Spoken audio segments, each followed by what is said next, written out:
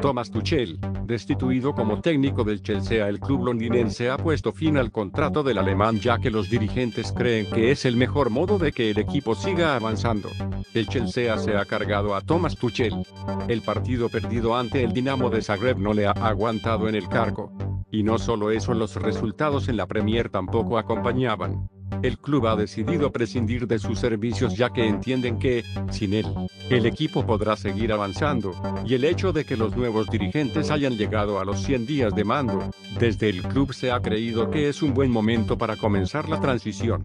El cuerpo técnico del Chelsea se hará cargo del equipo para el entrenamiento y la preparación de nuestros próximos partidos mientras el club avanza rápidamente para nombrar un nuevo entrenador, ha afirmado el club en sus canales oficiales.